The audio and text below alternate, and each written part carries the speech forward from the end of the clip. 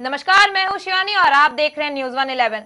जमुई में एनडीए प्रत्याशी चिराग पासवान के पक्ष में चुनाव प्रचार करने गृह मंत्री राजनाथ सिंह, केंद्रीय मंत्री रामदास पासवान पहुँचे और जनसभा को संबोधित किया। इस दौरान गृह मंत्री राजनाथ सिंह ने विपक्ष पर हमला बोला और चिराग पासवान को फिर से सांसद बनाने की अपील की। बात की कोई नाराज़गी भी हो। भूल जाना, संसद में भी खड़े होकर जब भी संकट की घड़ी आई है, हमारे रामविलास पासवान भाई ने खड़े होकर किस तरीके से सरकार को डिफेंड किया है?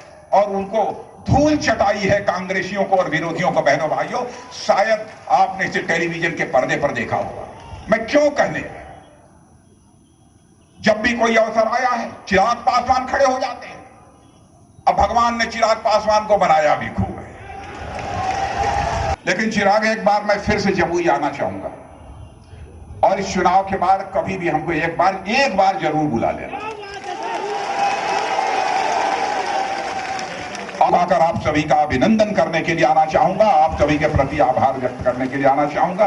आप सबको बहुत बहुत धन्यवाद। तो यदि आप लोग कहिए हाथ उठाकर यदि आप आशीर्वाद दें तो चिराग पासवान को माला पहना दूँ। मंत्री जी ने पिछले पाँच सालों में विभिन्न योजनाओं के माध्यम से हर प्रदेश, हर क्षेत्र के सामाजिक और आर्थिक विकास में उन्होंने योगदान दिया। भले वो उज्ज्वला योजना हो, भले वो घर घर विद्युतीकरण पहुँचाने की सौभाग्य योजना हो, या आयुष्मान जैसी योजना हो, जिससे हर परिवार के व्यक्ति को पाँच लाख रुपए का फ्री मेडिकल स्वास्थ्य लाभ वो ले सकते हैं, भले प्राइवेट कॉलेज प्राइवेट अस्पताल हो या सरकारी अस्पताल हो। था, दलितों का आरक्षण मिला हुआ था। और आज जब हम ऊँची जाति के लोगों को दे रहे हैं, नरेंद्र मोदी जी ने दिया, जो पिछड़ी जाति पिछड़ी जाति का बेटा है कुछ कुछ लोग जो है क्रिटिसाइज करते हैं, किसी का हक लेकर के नहीं दिया गया है। दलित का हक कायम रहेगा।